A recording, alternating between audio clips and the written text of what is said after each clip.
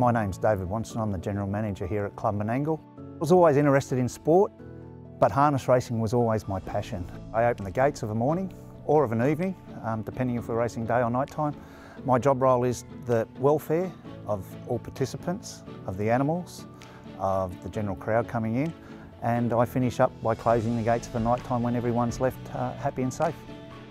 Uh, what I find really interesting, the most interesting part of my job is developing programs for the horses. So what you see on Sky Channel on a Tuesday and a Saturday here at Club Menangle are the programs that I develop.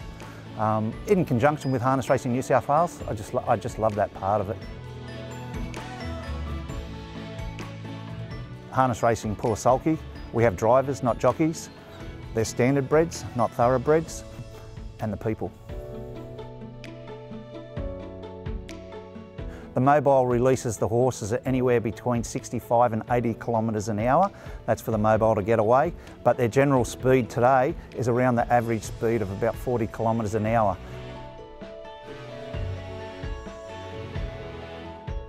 Have confidence in yourself and your form analysis uh, the second thing is the right driver and thirdly the right barrier.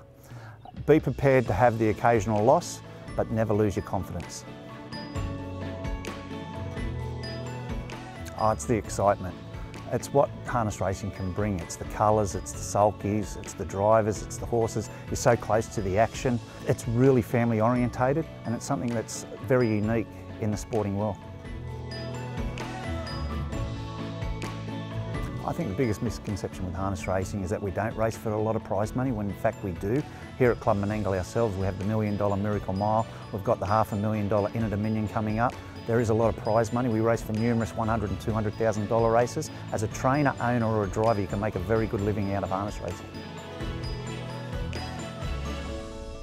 Sat around the table with my daughters one day, they're only little, and both of them said speed racer.